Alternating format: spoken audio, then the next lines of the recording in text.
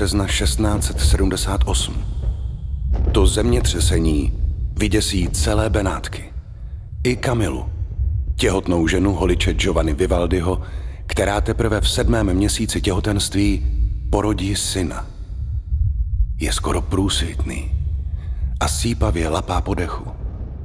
Není jisté, jestli dožije rána. Pro všechny případy ho ještě tu noc pokřtí. Dají mu jméno Antonio.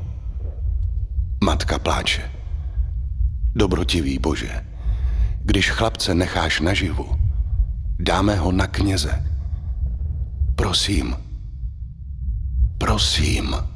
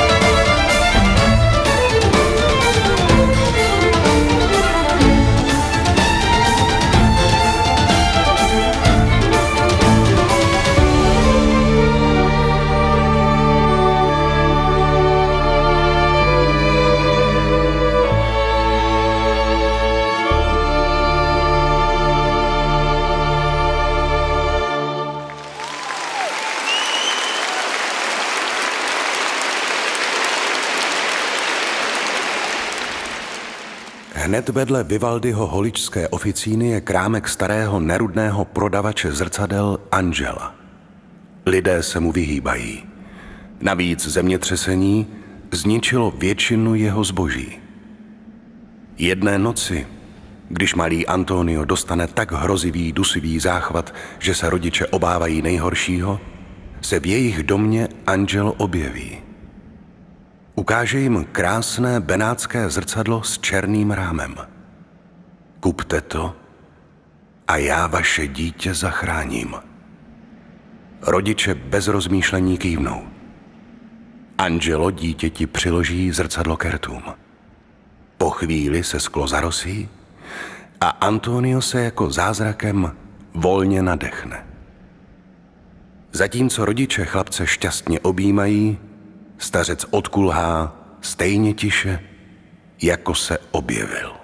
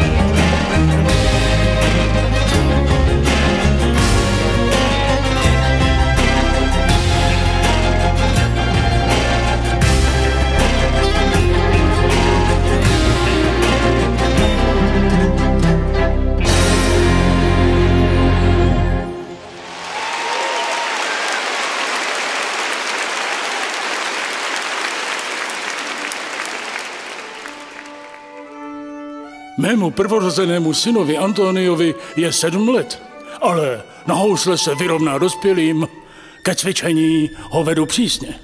Jednou mi poděkuje. Z penězi moc nevycházím. Kamila už je zase těhotná. Od té děsivé noci, kdy se Antonio málem urusil, už jsme toho starého kulhavého prodavače zrcadel nikdy neviděli. Prostě zmizel. Nechal nám to zrcadlo s černým rámem, ani jsme neměli příležitost mu zaplatit. A tak asi před rokem jsem to zrcadlo vzal na bleží trh a prodal. A včera, včera ráno, když otvírám oficínu, krve by se ve mně nedořezl. To přece není možné. To zrcadlo bylo tam vyselo na stejném místě jako předtím. Ani ženě jsem o tom neřekl. V noci jsem ho odnesl na druhý konec města a hodil do temné vody laguny. Bůh s námi.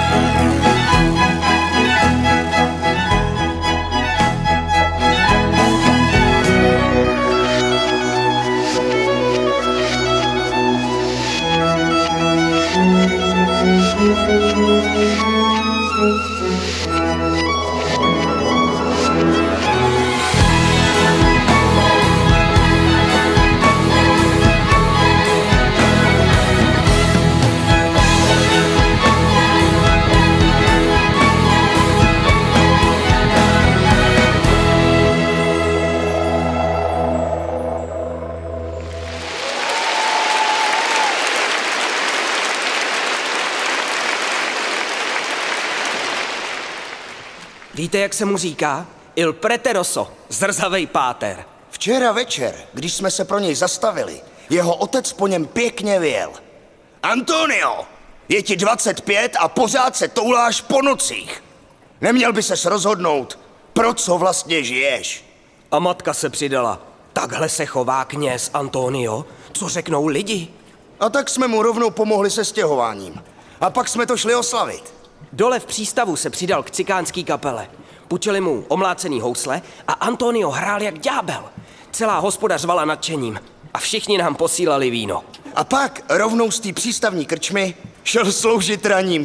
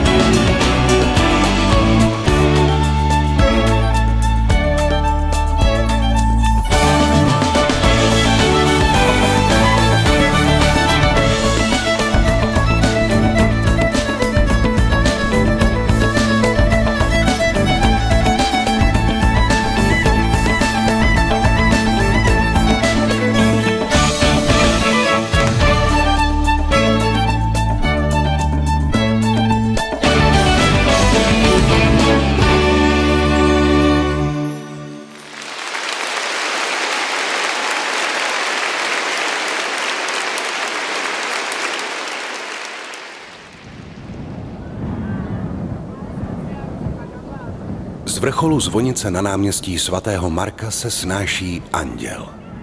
Je to akrobat na ocelovém laně. Ohňostroje, lidské pyramidy, exotická zvířata vystavovaná na náměstích. Lidé mají masky bohů, zvířat, harlekínů, pijí, tančí a objímají se. Pod maskou se prý král stane žebrákem a žebrák králem.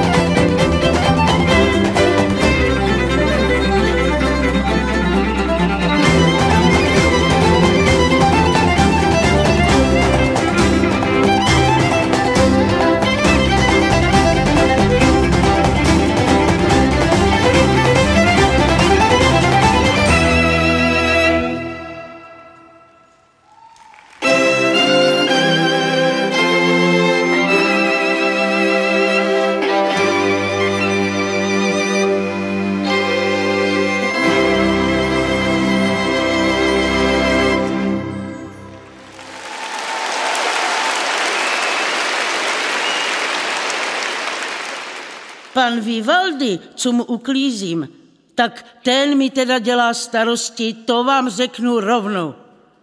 Nejenom kvůli tomu věčnému sípavýmu kašli. Poslední den karnevalu to bylo, jestli se dobře pamatuju. Já pám, pane Vivaldi, někdo vám nechal u dveří tenhle balík. Tak on to rozbalí a tam vám zrcadlo krásný, s takovým černým rámováním. Já že nevím, kdo to tady nechal. Akorát jsem zahlídla nějakého kulhavého starce. A on si teda, pán Vivaldi, to zrcadlo pověsí nad psací stůl. A od té doby vám mám takový dojem, že se s ním něco stalo.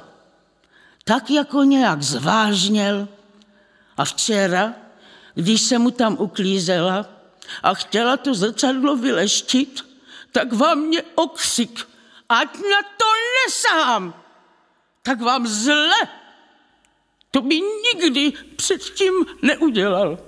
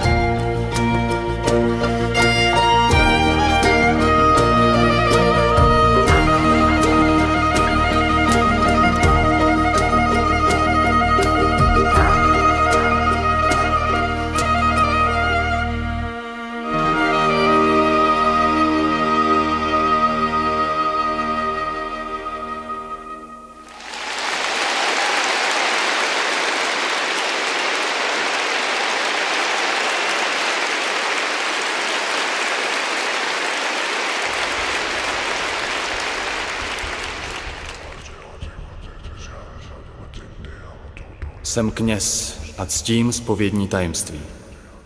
Ale tohle snad říct můžu. Antonio Vivaldi už nebude celebrovat mše. Ze zdravotních důvodů. Asi je to tak lepší. Bude se plně věnovat té své hudbě. Když naposledy sloužil mši, museli na několik minut přerušit kvůli záchvatu kašle. Myslím, že vím, jak to bylo. Myslím, že ji přerušil proto, aby si zapsal nějaký hudební nápad. On a kněz. Víte, co mi řekl? Že se cítí tak osamělý, že často mluví se svým odrazem v zrcadle. Prý se modlí, ale Bůh mu neodpovídá. Prý to strašlivé ticho, když Bůh mlčí, vyplňuje svojí hudbou. Jak se může tak rouhat? Teď už jděte.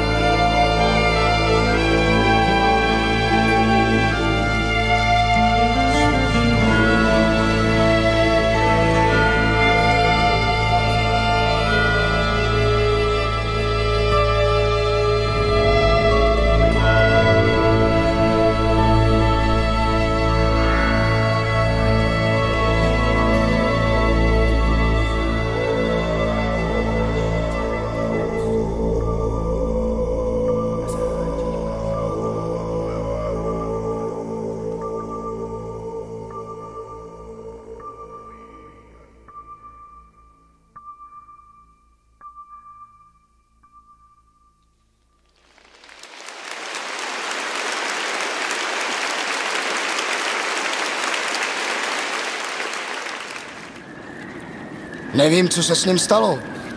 Asi to už vzdávám. Už skoro rok s náma nikam nešel. Antonio prý vůbec nevychází z bytu.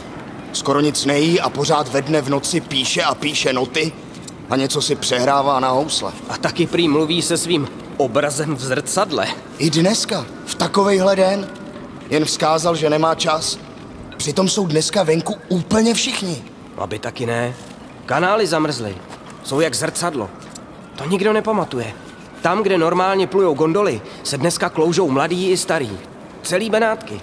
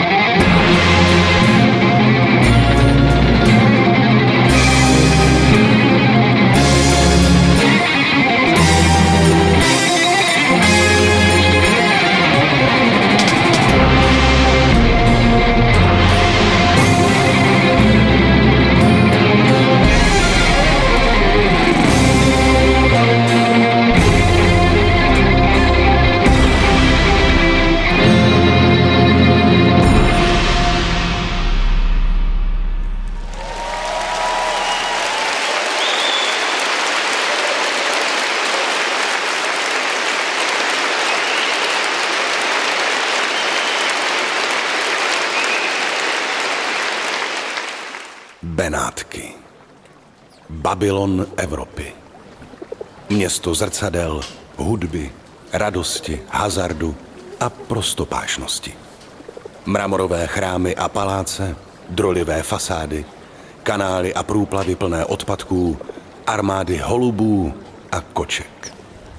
Na mostě nářků minete akrobaty, hvězdáře, pouličního zubaře nebo kurtizány, kterých jsou tu tisíce. Cortigiana Onesta je vzdělaná a luxusně oblékaná. Cortigiana di Lume je pro námořníky.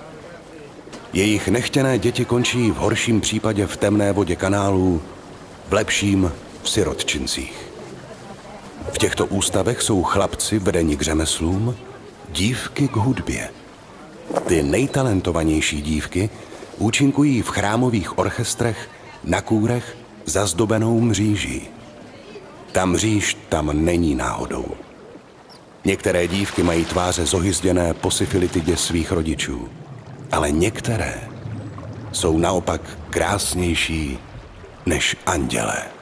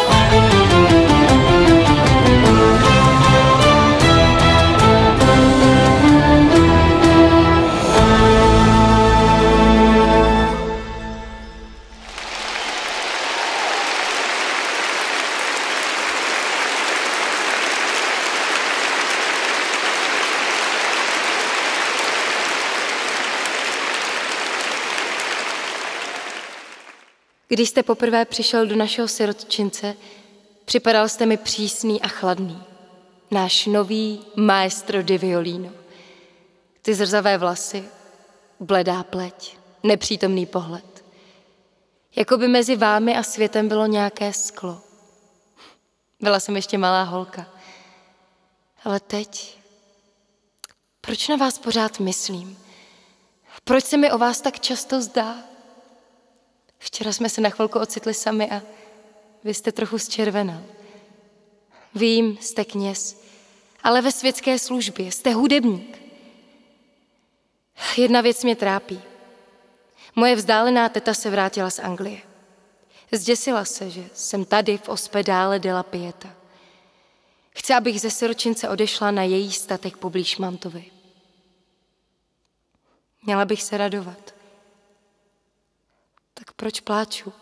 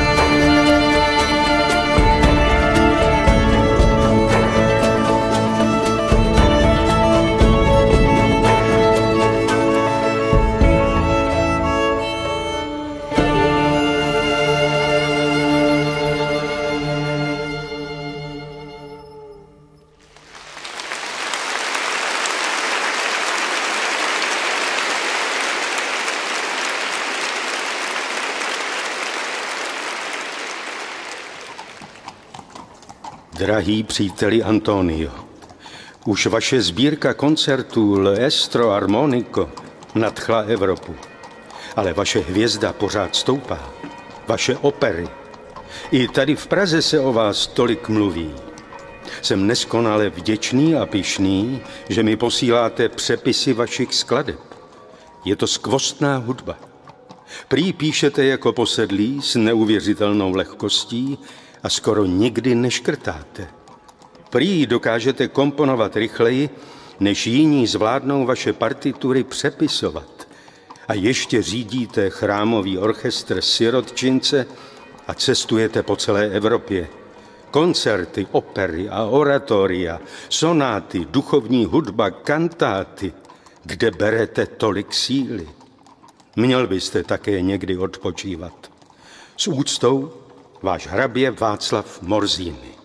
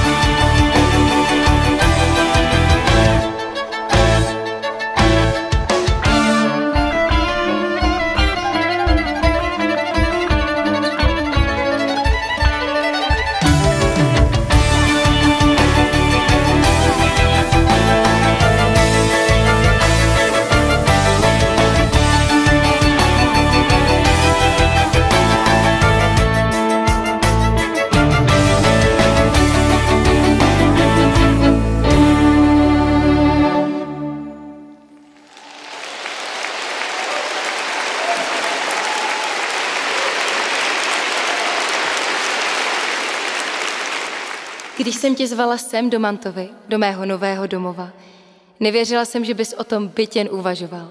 Stal se z tebe uznávaný skladatel. Ale teď si tady.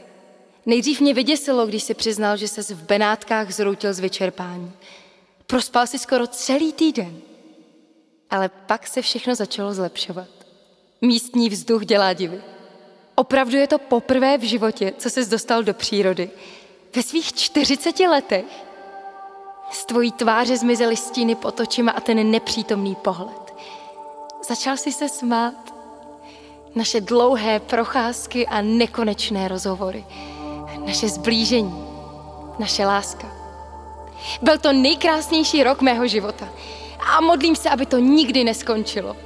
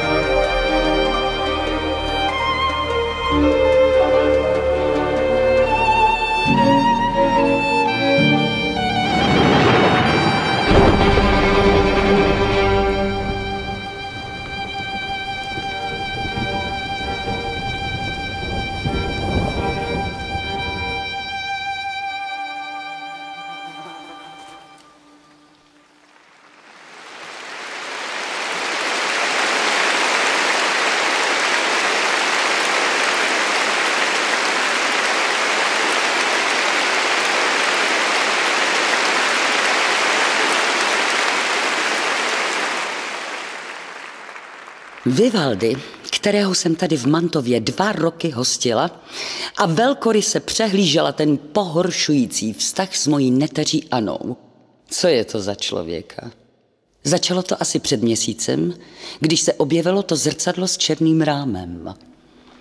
Byl vytěšený a všechny vyslýchal, kde se vzalo v jeho zamčeném pokoji. Prý je schválně nechal v Benátkách. Takové scény kvůli kusu skla. Od té doby byl jako vyměněný. Byl podrážděný a stěžoval si na nespavost. A pak s tím přišel za Anou. Prý musí zpátky do Benátek.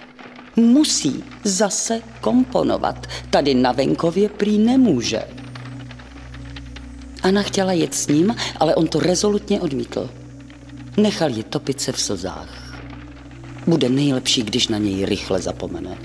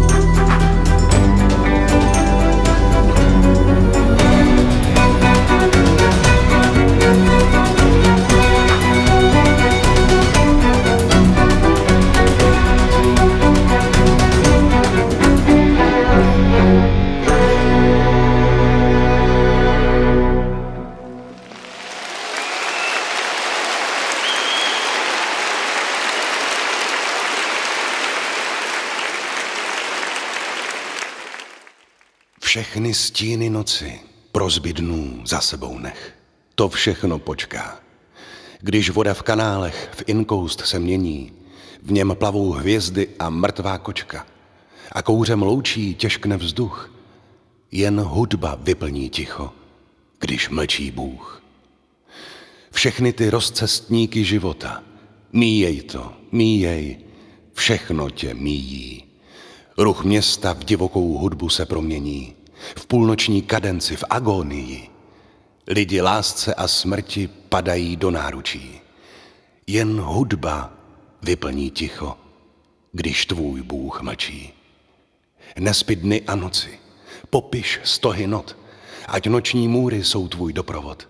Sám se staň zrcadlem a nežij jako jiní. V maskách jsou z vlků psy a z vládců harlekýni. Třeba i nemilován, třeba i bez zásluh. Jen hudba vyplní ticho, když mlčí Bůh.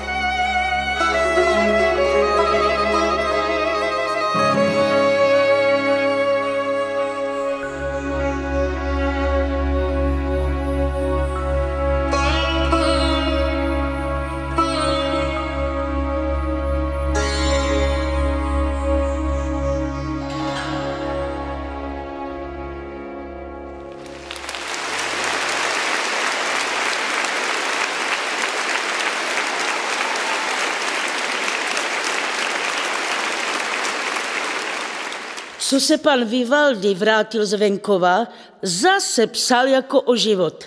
A je hrozně slavný skladatel. Dokonce i mě pozval na koncert. Čtvero ročních období, jo, se to myslím jmenovalo. A pěkný to bylo. Ta muzika úplně napodobovala zvuky, jako bouřka nebo štěkání psa a tak. Taky mi dává o dost víc peněz za uklízení a za vaření.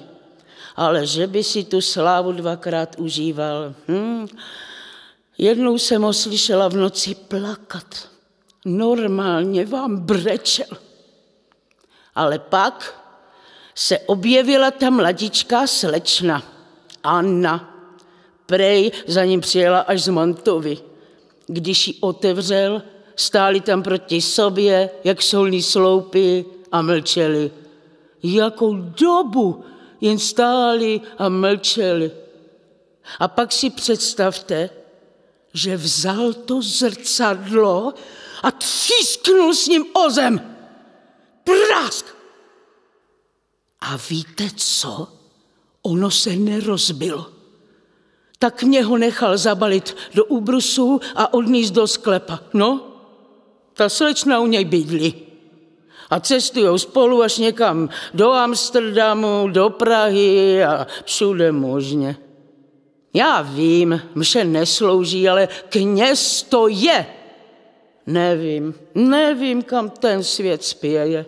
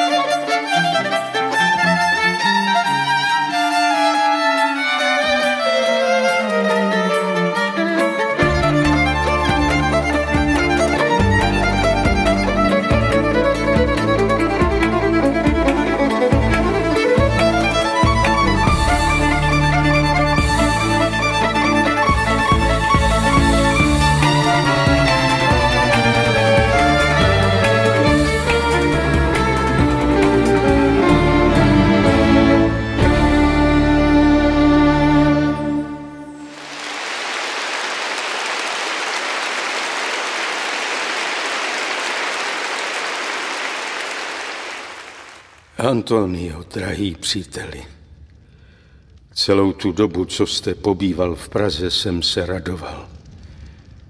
Premiéry vašich oper, koncerty, večeře a procházky s vámi a vaši krásnou a oduševnělou Anou.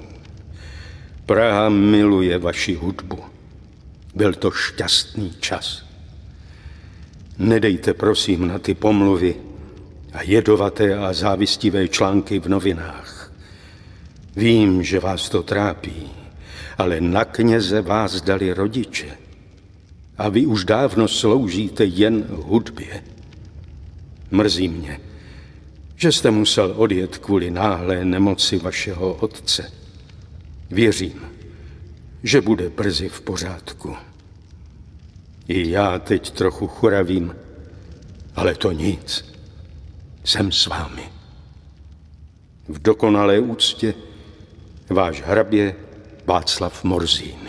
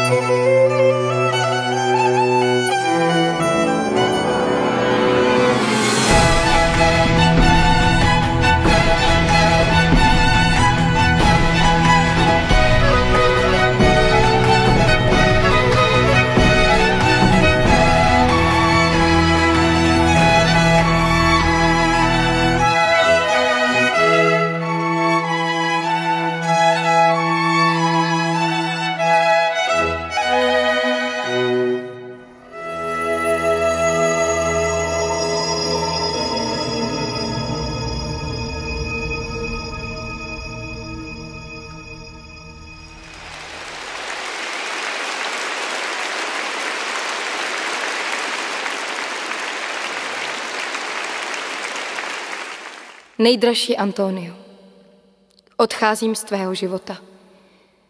Od doby, co jsme se vrátili do Benátek, cítím, že tě to trhá na kusy. Ty skandály, které pořád rozvěřují kolem našeho vztahu. Ty útoky na tvoji hudbu. Ta závist a zášť. Cítím, jak tě to bolí. Jak tě dusí, že se nemůžeš soustředit na komponování. A hlavně, jak strašně tě zranila smrt tvého otce a pak nenadálá smrt našeho přítele, hraběte Morzínyho. Změnilo tě to. Zase si někdy našel to svoje zrcadlo. Zase si přestal mluvit. Zase se dusíš a nemůžeš spát. Když se ti dívám do očí, vidím stejný chlad, jako jsem měl tehdy v Mantově, když se mě opustil. Po druhé bych to nezvládla. Raději odejdu já, dokud mám sílu. S Bohem, má lásko. I teď si to jediné, co mám. Ale jinak to nejde. Navždy tvoje. Ana.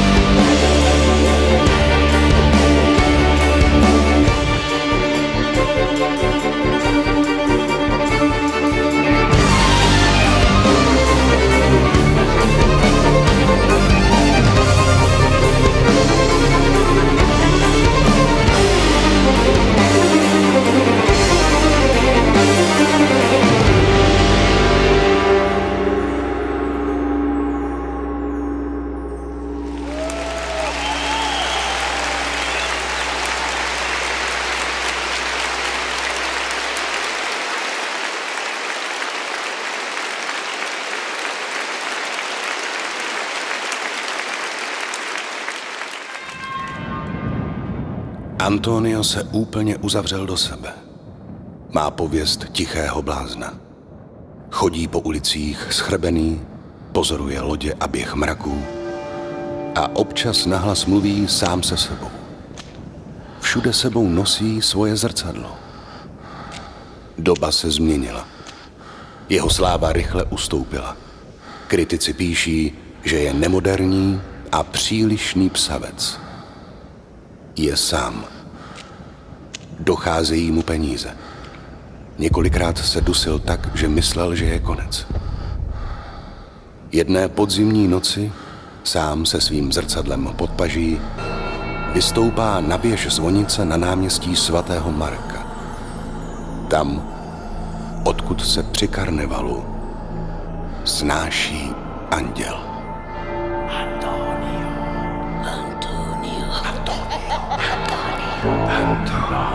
Maledicis, maledictis, flamme sacribosa ignis.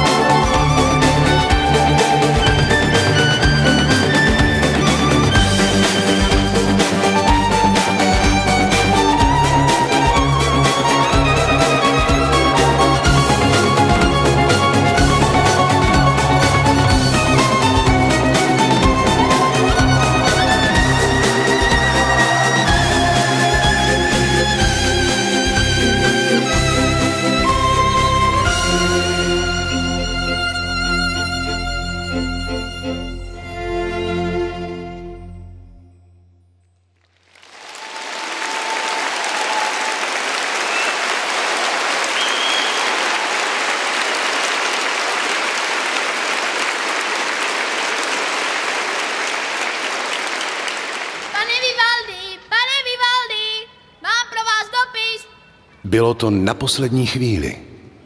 Karel VI., rakouský císař, ho zve ke dvoru do Vídně. Vivaldi rychle opouští nevděčné Benátky. Vídeň ho vítá jako génia. Už zase tleskají jeho hudbě. Už zase je velký a obdivovaný skladatel. Ale pak to přijde jako blesk z čistého nebe. Jeho štědrý hostitel, rakouský císař, náhle umírá. S ním umírá i zájem o Vivaldiho. Ocitá se sám a bez prostředků. Je zoufalý. Trýzní ho záchvaty dušnosti. Aby měl co jíst, nabízí originály svých partitur za směšnou cenu. Je mu 60 let. Sám v cizím městě, nemocný, chudý a zlomený.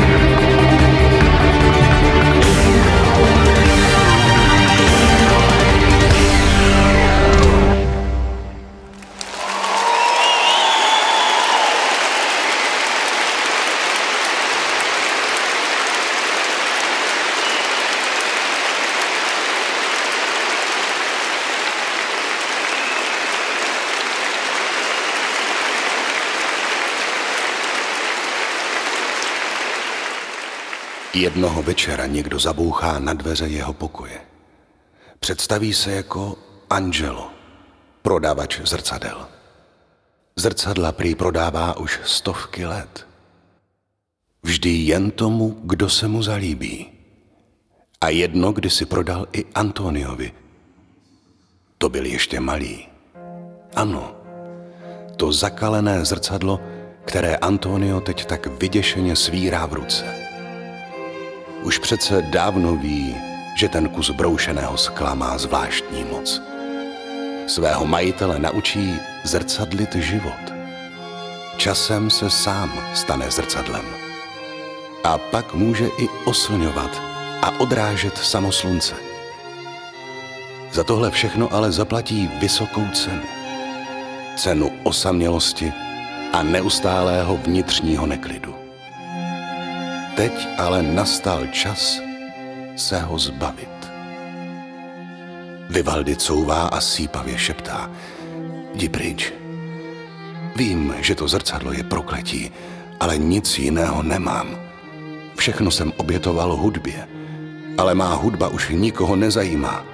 Měl jsem se věnovat lidem, rodině, přátelům. Aně. To proto mi Bůh neodpovídal. Dal jsem se špatnou cestou. Promarnil jsem život.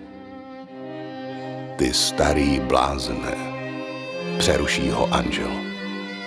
Tvoje hudba rozdávala radost tisícům lidí a rozdá jí ještě mnohem víc po staletí.